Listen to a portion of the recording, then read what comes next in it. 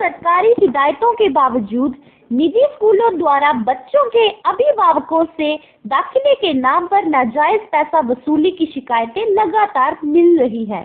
इसी सिलसिले में जीरकपुर की प्रमुख समाज सेवी संस्था बास फाउंडेशन द्वारा एसडीएम डेराबस्सी को एक मांग पत्र सौंपा गया।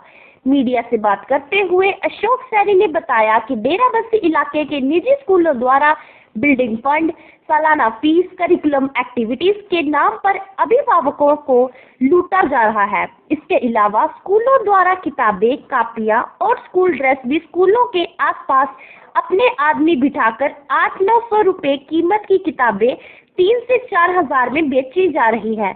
यहाँ तक कि जो किताबें स्कूल द्वारा खरीदने के लिए कहा जाता है, वो उनकी आसपास की दुकान के अलावा कहीं भी उपलब्ध नहीं होती। उन्होंने ये भी कहा कि इन स्कूलों द्वारा शिक्षा का अधिकार, कानून का भी जमकर धज्जियाँ उड़ाई जा रही हैं। इनके द्वारा और कानून के मुताबिक गरीब बच्चों को दाखिला नहीं दिया जा रहा। बास फाउंडेशन ने एसडीएम से मिलकर इन स्कूलों पर सख्त से सख्त कार्रवाई की मांग की ताकि मजबूर अभिभावकों को इनकी लूट से बचाया जा सके। वहीं जब मीडिया द्वारा इलाके के कुछ स्कूलों का दौरा किया गया तो स्कूल की वाइस प्रिंसिपल मीटिंग में जाने का कहकर वहाँ से चलती बनी। वहीं स्कूल के बिल्कुल सामने एक अस्थाई किताबों की दुकान नज़र आ रही थी। मीडिया द्वारा जब दुकान पर बैठे लड़के से बात की गई तो उसने माना कि ये किताबें हम बच्चों को बेच रहे हैं, लेकिन उसने स्कूल का नाम बताने से मना कर दिया। जबकि इस दुकान के आसपास एक निजी स्कूल के अलावा कुछ भी मौजूद नहीं था। दुकान पर किसी भी फर्म का कोई बोर्ड नहीं था और वहाँ पर काम कर रहे लड़के मीडिया से बात करने की बजाय दुकान का शटर बंद कर वहाँ से भाग खड़े हुए। कच्चा बिल दे रहे हो पक्का कोई नहीं होता सर पक्का बिल कोई नहीं होता कैसे ਪੱਕਾ ਬਿੱਲ ਕੋਈ ਸਮਾਨ ਤੁਸੀਂ ਕਿੱਥੋਂ ਲੈ ਕੇ ਆਉਂਦੇ ਹੋ ਜੀ? ਇਹਦਾ ਕੋਈ ਅਸੀਂ ਅੰਬਾਲੇ ਪਰਚੇਸ ਕਰਦੇ ਨਹੀਂ ਅੰਬਾਲੇ ਤੋਂ ਪਰਚੇਸ ਕਰਦੇ ਹੋ ਨਾ। ਤੁਸੀਂ ਇੱਥੇ ਬੈਠ ਕੇ ਇੱਥੇ ਵੇਚ ਰਹੇ ਹੋ। ਸਕੂਲ ਦੀ ਡਰੈਸ ਹੈ। ਤੁਹਾਡੇ ਕੋਲ ਸੌਕਸ ਹੈ ਸ਼ੂਜ਼ ਹੈਗੇ ਆ ਤੁਸੀਂ। ਵੇਚ ਰਹੇ ਹੋ। ਹਾਂਜੀ। ਠੀਕ ਹੈ? ਬੱਚਿਆਂ ਨੂੰ ਤੁਸੀਂ ਦੇ ਰਹੇ ਹੋ। ਤਾਂ ਪੱਕਾ ਬਿੱਲ ਦੇਣਾ ਜ਼ਰੂਰੀ ਹੈ ਨਾ। ਪੱਕੇ ਬਿੱਲ ਤੋਂ ਬਿਨਾਂ ਤਾਂ ਨਹੀਂ ਨਾ ਤੁਸੀਂ ਦੇ ਸਕਦੇ ਕੋਈ ਵੀ ਚੀਜ਼ ਸੇਲ ਨਹੀਂ ਕਰ ਸਕਦੇ ਨਾ। ਇਹ ਸਾਡੇ ਕੋਲ ਕੋਈ ਨੰਬਰ ਹੋਏਗਾ ਤਾਂ ਹੀ ਅਸੀਂ ਪੱਕਾ ਬਿੱਲ- ਮਤਲਬ ਤੁਸੀਂ ਨੰਬਰ ਵੀ ਨਹੀਂ ਲਿਆ ਹੋਇਆ।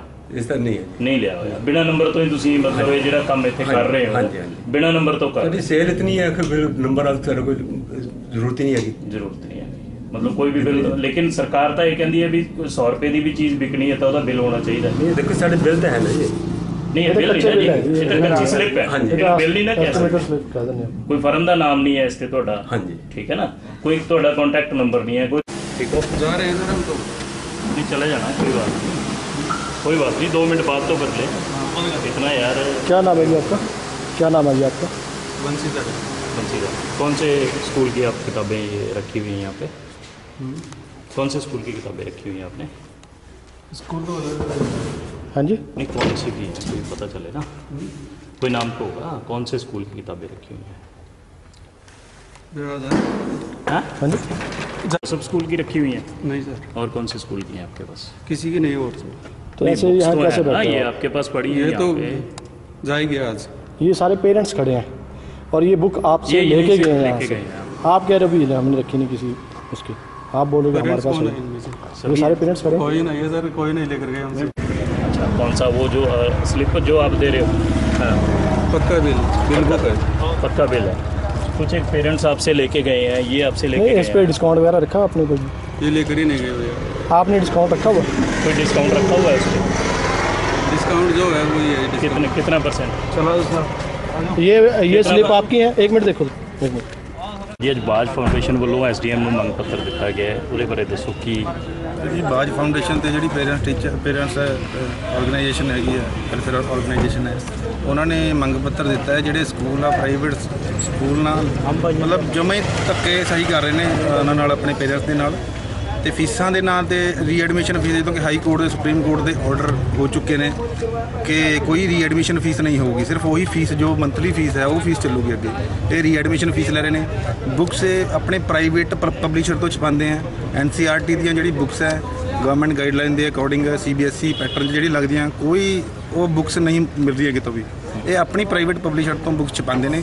ਜਿਹੜੀ 800 ਰੁਪਏ ਦੀਆਂ ਬੁੱਕਸ ਹੈ 1000 ਰੁਪਏ ਦੀਆਂ ਬੁੱਕਸ ਹੈ, ਇਹ 4-4000 ਰੁਪਏ ਦੀਆਂ ਬੁੱਕਸ ਪ੍ਰੋਵਾਈਡ ਕਰ ਰਹੇ ਨੇ ਬੱਚਿਆਂ ਨੂੰ ਤੇ ਕੀ ਕੋਈ ਕੰਪਲੇਂਟ ਵਗੈਰਾ ਵੀ ਕੀਤੀ ਹੈ ਜੀ ਤੁਸੀਂ ਕਿਸੇ ਨੂੰ।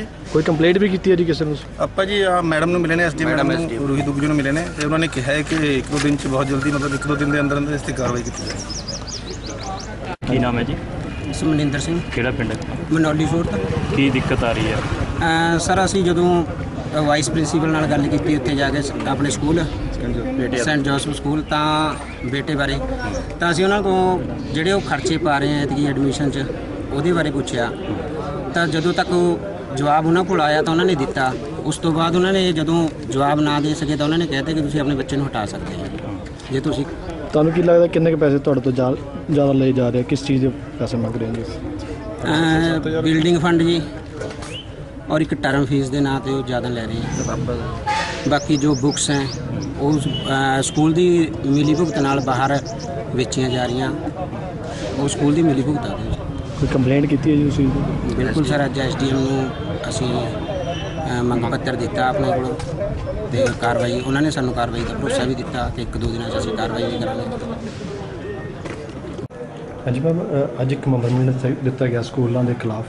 ਉਹਦੇ ਬਾਰੇ ਕੀ ਕਾਰਵਾਈ ਕੀਤੀ ਜਾਵੇ ਅ, ਸਾਨੂੰ ਪ੍ਰਾਈਵੇਟ ਸਕੂਲਸ ਵਿੱਚ ਜਿਹੜੀ ਅ, ਫੀਸ ਲਿੱਤੀ ਜਾ ਰਹੀ ਹੈ ਹੋਰ ਦੋ ਤਿੰਨ ਇਸ਼ੂਜ਼ ਜਿਹੜੇ ਹੈ ਅ, ਇਹ ਫਾਊਂਡੇਸ਼ਨ ਨੇ ਆ ਕੇ ਸਾਡੇ ਸਾਹਮਣੇ ਰੱਖੇ ਹੈ ਸੋ ਅਸੀਂ ਜਿਹੜਾ ਹੈਗਾ we will see what course of action has to be followed ਇਸ ਤੋਂ ਜਿਹੜੀ ਜਲਦ ਤੋਂ ਜਲਦ ਜਿਹੜੀ ਵੀ ਕਾਰਵਾਈ ਹੋ ਸਕਦੀ ਹੈ ਉਹ ਕਰਾਂਗੇ and we will ensure that ਜਿਹੜੀ ਅਨਡਿਊ ਫੀਸ ਲਿੱਤੀ ਜਾ ਰਹੀ ਹੈ ਜਾਂ ਕਿਸੇ ਵੀ ਹੋਰ ਤਰ੍ਹਾਂ ਪੇਰੈਂਟਸ ਨੂੰ ਹਰਾਸ ਕੀਤਾ ਜਾ ਰਿਹਾ ਉਹਦੇ ਅਗੇਂਸਟ ਐਕਸ਼ਨ ਕਿੱਦਾਂ ਦੀ ਕਾਰਵਾਈ ਹੋਏਗੀ ਫੀਸ ਵਗੈਰਾ ਵਾਪਸ ਹੋਏਗੀ ਜਾਂ ਕੁਝ ਹੋਰ ਕਾਰਵਾਈ we will see. I will uh, talk to the concerned authorities. High authorities ਨੇ ਇੱਕ ਵਾਰ ਗੱਲ ਕਰਕੇ we will see what course of action can be taken. ਕੋਈ ਬਿਲਡਿੰਗ ਫੰਡ ਜਾਂ ਕੋਈ ਇਸ ਤਰ੍ਹਾਂ ਦੀ ਫੀਸ ਕੋਈ ਸਕੂਲ ਚਾਰਜ ਕਰ ਸਕਦਾ ਹੈ ਐਸ ਪਰ Uh, I I will really have to see ਇਹਦੇ ਵਿੱਚ ਮੈਨੂੰ ਦੇਖਣਾ ਪਿਆ ਕੀ ਰੂਲਸ ਅਲਾਉ ਕਰਦੇ ਨੇ।